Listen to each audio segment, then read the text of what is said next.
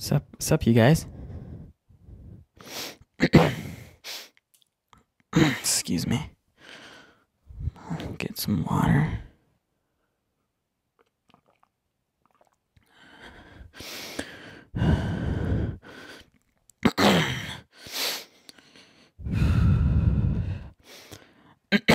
Excuse me for a second. Get some.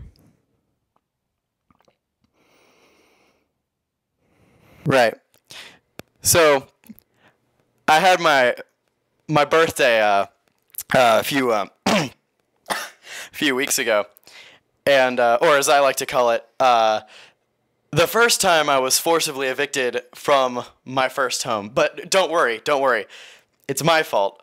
I kept kicking the landlord.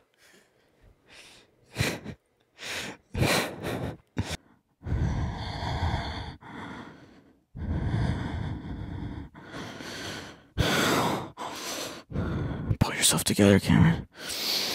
You got this. You're a winner. You're a winner. You're gonna be good.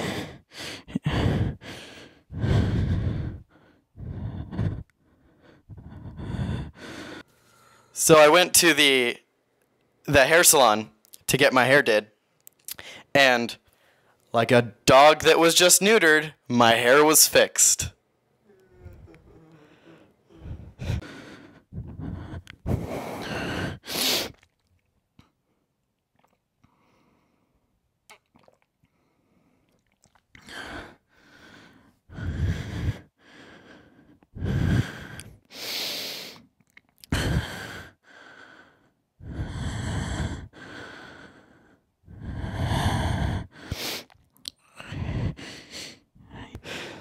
So um, so um,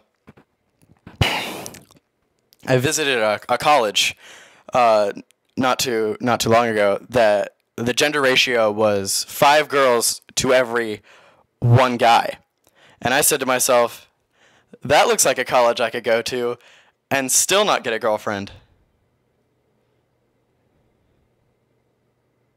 Thank you.